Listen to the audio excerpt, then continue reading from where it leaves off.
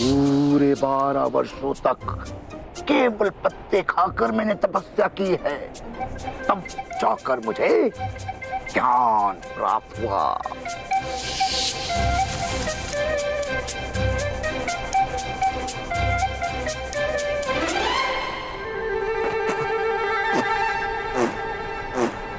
कौन है? कौन है जो हमारी तपस्या भंग करने आया है?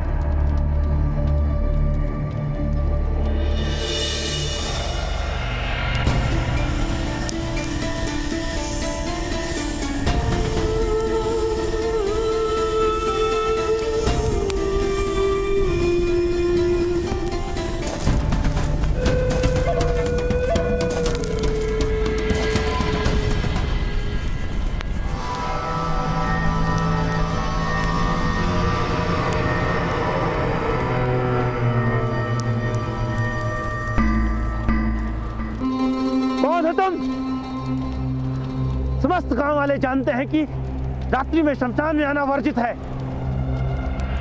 मैं यहाँ साधना कर रहा हूँ। जानते नहीं? मैं भी साधना करने आया हूँ।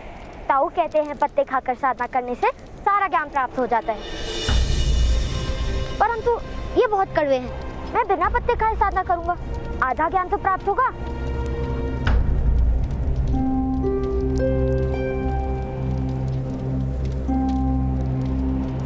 इस समय तुम्हें शमशान में आते भय नहीं लगता बालक? किसका भय? मृत्यु का। भूत पिशाच यहाँ तुम्हारा भक्षण कर जाएँगे। जानते नहीं? आपका भक्षण नहीं किया तो मेरा भक्षण क्या करेंगे?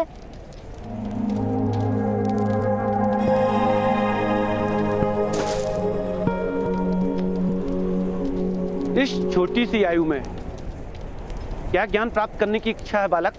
कस्तूरी मृग की नाभि से कस्तूरी निकालने का ज्ञान। कस्तूरी के कारण ही उस मृग की मृत्यु होती है। अब आप मौन रहिए मुझे ज्ञान प्राप्त होने वाला है।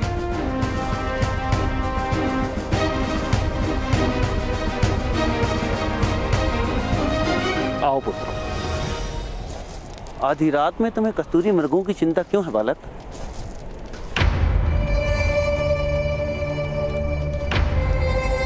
यदि कस्तूरी के कारण मृग की मृत्यु नहीं होगी तो मेरे कारण मेरी माता की मृत्यु नहीं होगी। मेरी माता को भय है कि मेरे कारण उनकी मृत्यु होने वाली है। इसलिए वो मुझे प्रेम नहीं कर पाती। और मुझे ये अनुज छोन की भांति माता का प्रेम प्राप्त करना है। क्या नाम है तुम्हारा पुत्र कर्ण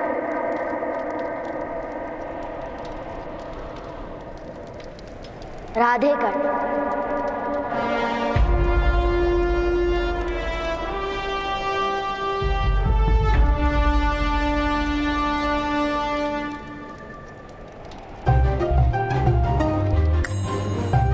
कितने समय में ज्ञान प्राप्त होता है? घर जाओ कर्ण। तुम्हें साधना की कोई आवश्यकता नहीं है। घर जाकर अपनी माता से कहना, कस्तूरी के कारण मृत की मृत्यु नहीं होती है। बल्कि कस्तूरी मृग के जीवन का प्रमाण है। कस्तूरी की सुगंध और मृग का जीवन एक साथ ही समाप्त होता है। और अपनी माता से यह भी कहना कस्तूरी के कारण ही मृग असामान्य होता है।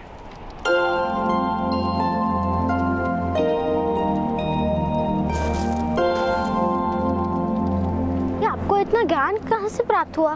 क्योंकि मैंने कस्तूरी मृग देखे हैं पुत्र। हिमालय के ऊँचे शिखरों पर। क्या मैं एक मृग लाकर माता को दिखा दूँ? क्या वो मानेंगी? कृपया करके मुझे माला जाने का मार्ग दिखाइए। नहीं पुत्र तुम वहाँ नहीं जा सकते। वहाँ का मार्ग अति दुर्गम है। वहाँ केवल एक बहुत बड़ा योद्धा ही पहुँच सकता है। मैं भी बड़ा हो गया हूँ। अपने हाथों से भोजन करता हूँ और भोजन भूमि पे भी नहीं गिराता। किंतु क्या तुम धनुर्धारी हो? धनुर्धारी?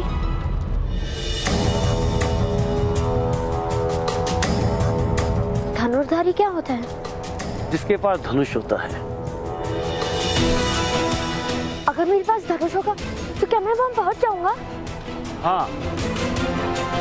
किंतु धनुधारी बनने के लिए कड़ा परिश्रम करना पड़ता है। यदि मेरे परिश्रम से मुझे माता का प्रेम मिले कोई परिश्रम बड़ा नहीं। आपका धन्यवाद। आपके दिए गए ज्ञान से मैं धनुर्धारी बनकर माता के लिए कस्तूरी मृत अवश्य ले आऊँगा। तुम्हारी निर्भयता देखकर मुझे विश्वास हो गया है कि तुम अवश्य किसी ऊँचे क्षत्रिय वंश के पुत्र हो। तुम अवश्य धनुधारी बनोगे।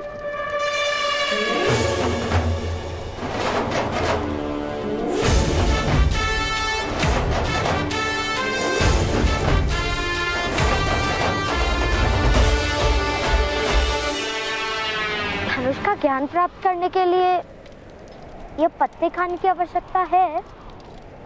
नहीं।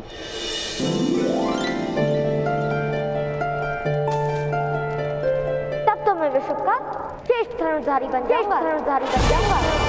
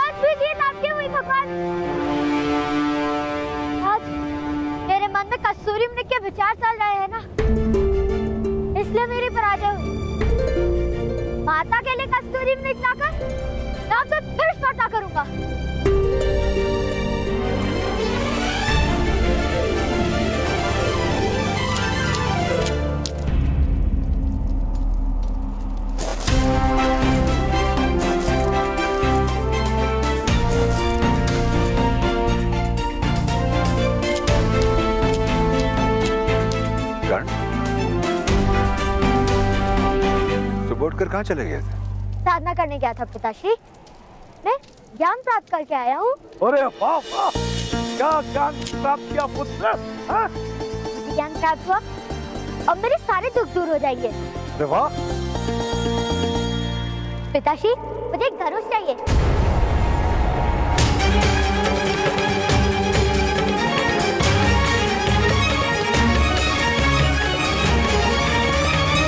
तुम्हें धनुष का क्या काम पुत्र धनुष पाकर धारी बन जाऊँगा उसके पश्चात मैं कस्तूरी मृग लाऊँगा तो मेरे कारण माता की मृत्यु नहीं होगी ना पिताश्री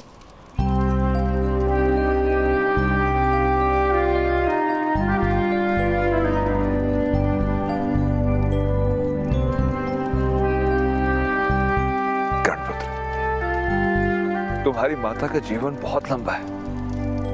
ना तुम्हें कसूरी मृग लाने की आवश्यकता है और ना ही धनुष उठाने की। हम्म, तुम्हें ज्ञात है पुत्र के धनुष क्या होता है?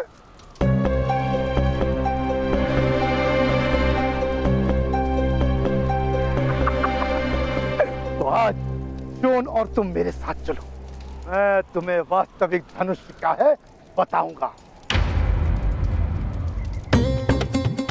पास के गाँव में मथुरा से धनुष आया है। दर्शन हेतु। वहाँ बहुत सारे धनुर्धारी एकत्र होंगे और धनुर्विद्या की प्रतियोगिता भी होगी। जाओ जाओ। तुरंत स्नान कर लो जाओ।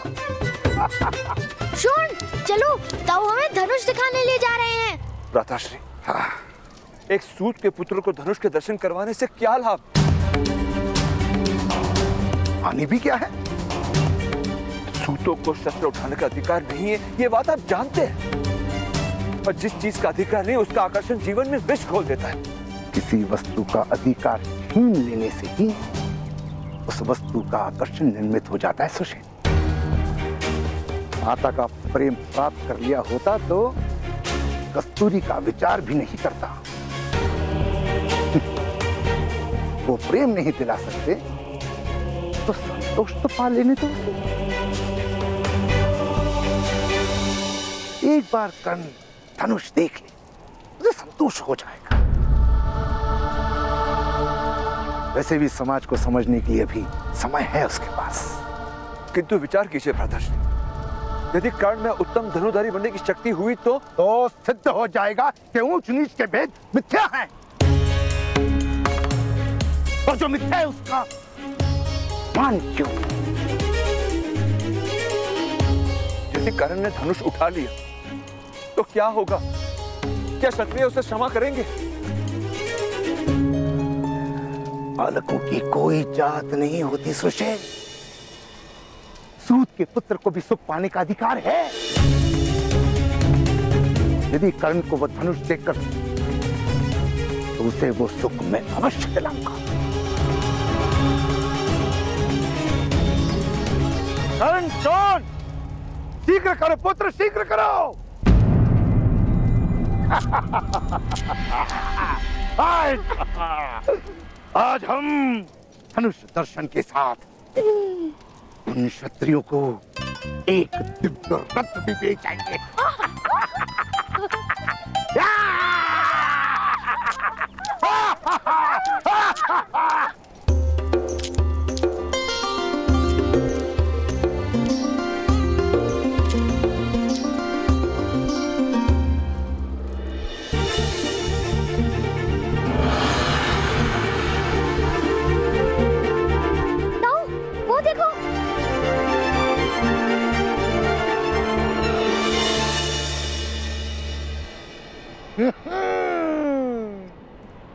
वही तो है। धनुष, जाओ, स्पर्श कर लो धनुष।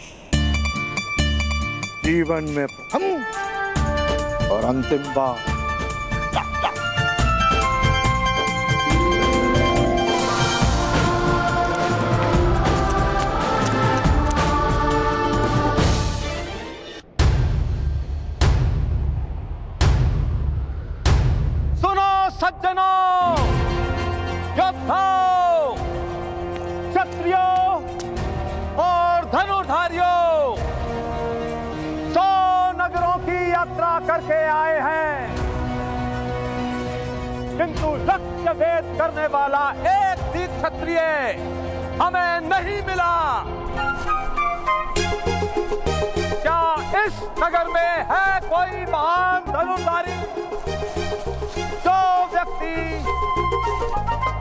लक्ष्य का भेदन करेगा।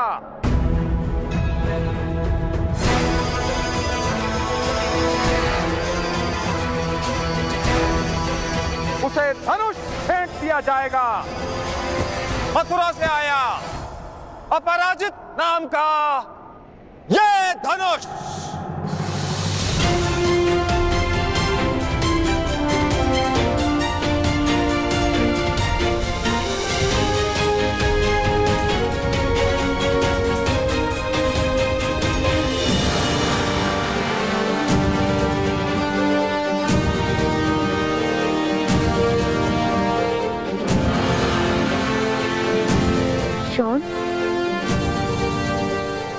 मेरा धनुष मिल गया।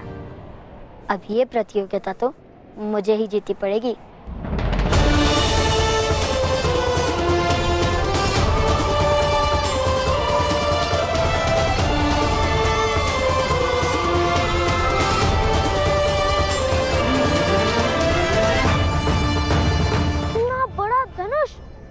आप तो इसे उठा भी नहीं सकोगे।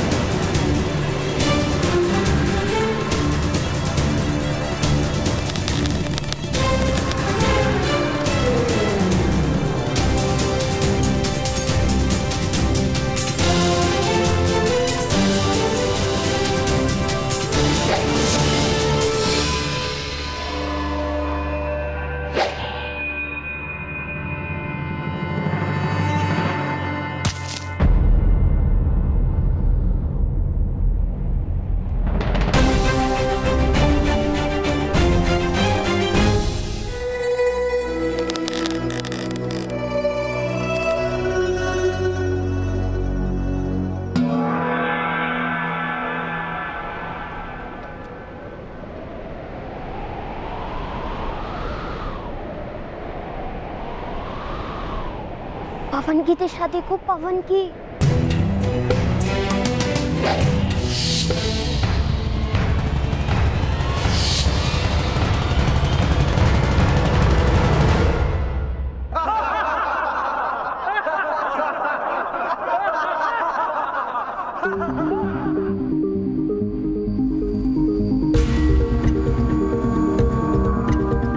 अर्थात लक्ष्य वेदने के लिए बाण पवन की दिशा के अनुरूप छोड़ना होगा। आप तो ऐसे कह रहे हैं जैसे आप कर सकते हैं लक्ष्मेद क्यों नहीं? किंतु आप तो बालक हैं। आपको कौन प्रतियोगिता में भाग लेने देगा?